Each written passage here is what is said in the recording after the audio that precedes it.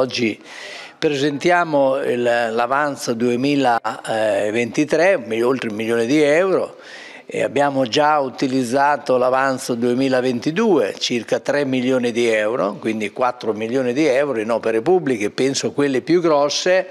diciamo dei 3 milioni sono 2 milioni e 4 nel Pala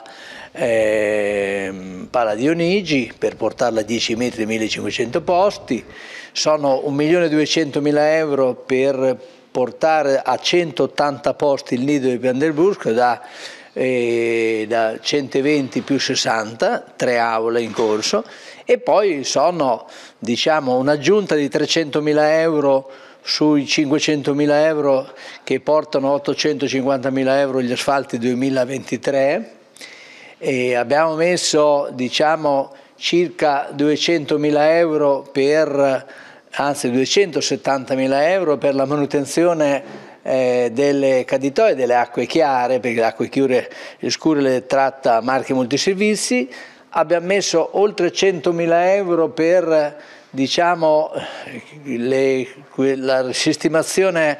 della, del circo di bottega. Stiamo lavorando su un'area che riguarda il parco fluviale del Foglia, stiamo lavorando fino all'ultimo giorno del mandato eh, con eh, diciamo, il rispetto ai cittadini, agli elettori. Io ho avuto, devo dire, tanto calore eh, tante simpatie di tante persone, a prescindere eh, dalla loro appartenenza politica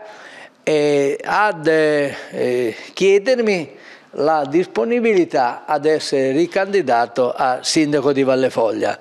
Eh, ci ho pensato molto,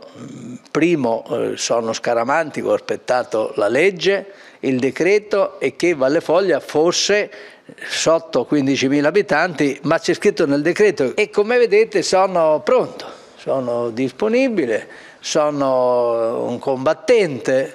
che ha sempre dato una mano per migliorare eh, per fare le cose importanti per eh, la città di Vallefoglia. Quindi l'impegno mio è fare ancora di più e meglio, se gli elettori lo vorranno, se ci daranno consenso, la nostra è una lista civica di persone per bene, oneste, oneste serie, eh, che vogliono fare le cose eh, diciamo per il bene dei cittadini, sono nato e cresciuto in questa vallata, in questo territorio, quindi se il popolo è, mi eleggerà farò di tutto e di più per non deluderlo come sempre.